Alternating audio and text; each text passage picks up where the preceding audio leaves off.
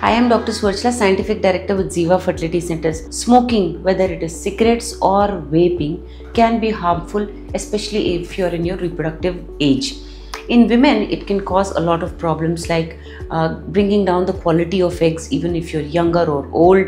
Uh, it can also cause premature ovarian failure. It can cause early menopause. It can also cause miscarriages. So, it is very harmful to be a smoker, especially if you are in your reproductive age.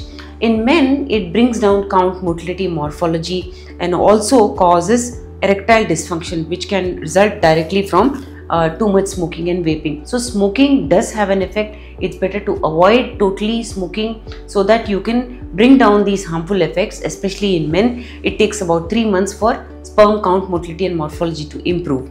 In women, what is damaged is damaged forever, but you can salvage whatever is left. To know more about this, please feel free to contact us. Thank you.